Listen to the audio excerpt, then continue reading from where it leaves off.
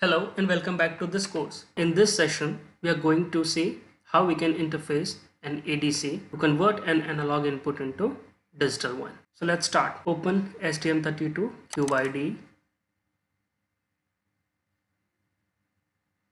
Click on start new STM32 project. It will initialize the target selector. Now go to board selector tab and type the target board which is Nucleo F401RE. Select the board, click next, give the project name. I'm giving ADC. Finish, click yes to initialize all the peripherals with their default mode. Now wait for the device configuration tool to initialize. So this is the pinout and configuration wizard. Now clear the pinouts. Now go to pinout menu, select clear pinouts and click yes to clear all the configuration. We need to configure an ADC channel so that we can connect a potentiometer to this channel and read the analog value at the input. So click on A to Z tab. At the very first you will find ADC1.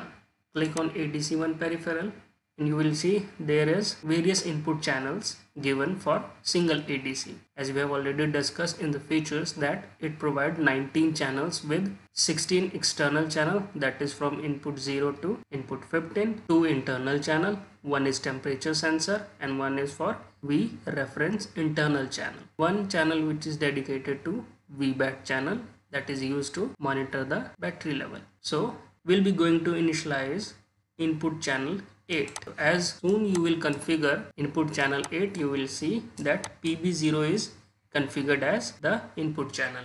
Now why i have configured this input channel 8 because the shield contain a potentiometer which is connected to this pin when you stack up the shield over your Nucleo board. Next thing we need to enable is V reference internal channel. That is we have to enable the internal reference voltage so that whatever conversion is being done that will be done with respect to this reference voltage. Now if you see in the configuration window you will see parameter setting in the ADC section like clock prescaler. You can select the prescaler as per your convenience I'm just leaving it as default. This is the resolution. That means what bit resolution you want to use for ADC. So I'm using 12 bit as I have already mentioned in the feature that it offers 6, 8, 10 and 12 bits resolution. So I'm selecting 12 bits. Data alignment. Leave the data alignment as right alignment. Scan conversion mode. You can enable this. Continuous conversion. Enable this so that a single channel is converted continuously discontinuous and DMA is disabled. Next is end of conversion selection. Then you want to enable EOC flag at the end of all conversion. That means we need a flag after completion of each conversion Next is ADC regular conversion mode because we have enabled a single channel and we want to converting that channel regularly. Therefore, it is coming under regular conversion mode. If I enable multiple channels, then you have to select them as per their rank. Like if I have a single channel, therefore the channel has been given rank 1 and with channel number 8 sampling time, you can select whatever is best for you. Right now I am selecting the maximum one injected conversion mode it's a mode of conversion in which the regular conversion mode will be interrupted and processor will be forced to perform this conversion first watchdog as i said watchdog is used for a level monitoring of input signal so that's all for the configuration part now go to rcc select hse as bypass clock source go to clock configuration select hse and type the maximum clock frequency. Now go to core src folder and open main.c. Now if you scroll down main.c you will find in the private variable section a handle type definition is defined for ADC as HADC1. It's very important variable that will be used in each of the function. Like in this controller there is only a single ADC but there are controllers in STM32 that having multiple ADC like ADC1, ADC2, ADC3 and so on. So if you are using the functions for ADC then the function will be applicable to all ADCs but what ADC we have enabled is selected by this handle tag there. So we have enabled ADC1. Now before moving on we need to define some private variable for our code. So let's define uint 16 underscore t that means 16 bit integer value as number of steps which is equal to 0 initially. Next we need to define the step size which is a float type variable. And in the previous session we have seen how we can calculate the step size which is the reference voltage that means 3.3 divided by the maximum number of discrete symbol that means 4096 okay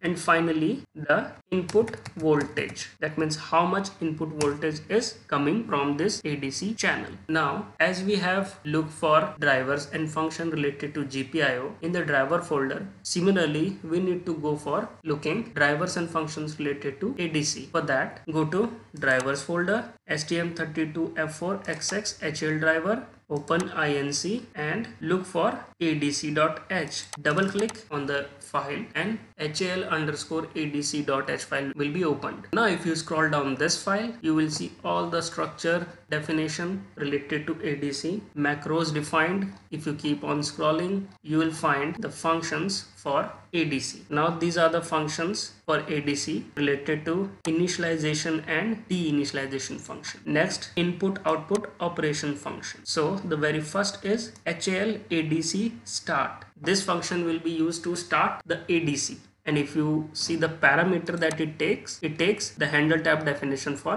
HADC that means we need to pass here the handle type definition defined for ADC1 so let's copy this function and go to main.c now in the main function, after the initialization of peripherals, clock, GPIO and ADC, we can start the ADC in the user code begin to end to section. Paste the code here, give the parameter as int HADC1.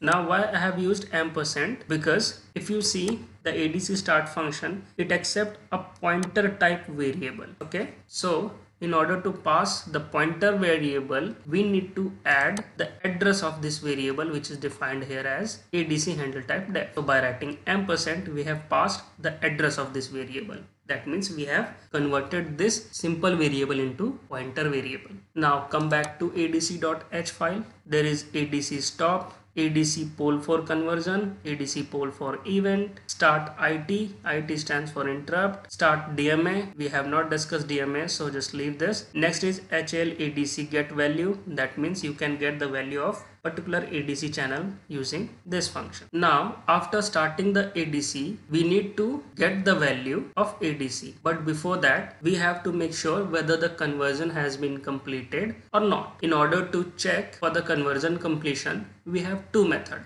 Either we can poll for conversion that means we can wait for a certain time period and then get the value the second thing is we use interrupt right now we have not discussed interrupt so this section will be focused in upcoming session for now we can only wait for the conversion to complete using a decided timeout. So this is the function that is HAL underscore ADC underscore poll for conversion that takes two parameter. One is the handle type for ADC. Second parameter is the timeout. That means for how much time you need to wait for the conversion to complete. Just copy this function go to main.c now i'm going to wait for the conversion in while loop. So i have pasted here. Now i'm giving 100 millisecond timeout the conversion and handle type def as hadc1 which is the adc handle type def. We can add comments for your reference that function used to start adc this function do wait for 100 millisecond in order to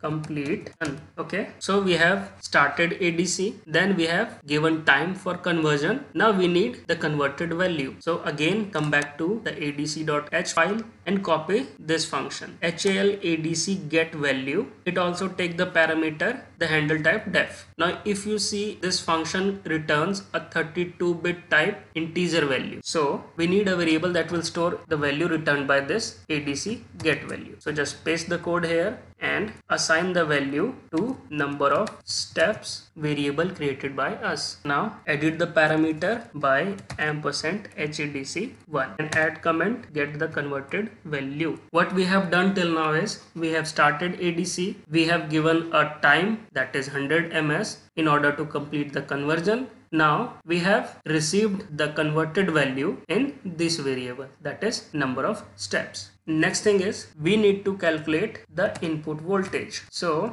getting input voltage received at ADC channel input voltage will be equal to How we can calculate the input voltage? The formula that I have discussed in the previous session that is number of steps multiplied by step size. We are done with the coding section. Now go to project, click on build all. Now the build finished with zero error and zero warning. That means the code compiled successfully. Now take the target board, connect it with the shield as we have done in the seven segment interfacing. Now connect it with the system. Go to run debug as STM32 Cortex M C C++ application. Click OK to close the configuration window and now this will upload this code to your target board. Once the code is uploaded successfully, the perspective of your IDE will change to debug. Now, if you see here in these windows, you will find various tabs like live expression, expression, modules, registers. So these tabs offer you to explore expression used in the code or monitor the live expression that you have used in your code and the value associated with it. You see here it's given add new expression. Hit this and type the expression that you want to see. I'm interested in watching number of steps. That means what is the number of steps returned by the ADC. Next, I'm interested in the value of input voltage calculated. The value is in the right side. So just resize to get the value displayed here. Now click on this resume button and you will see the number of steps and the input voltage calculated corresponding that particular number of steps. Now if you adjust the potentiometer values you will find the reading of number of steps as well as input voltage also vary. So that's all in this session. Now you can close the project just click on terminate and you will be come back to your editor window go to project and click on close project.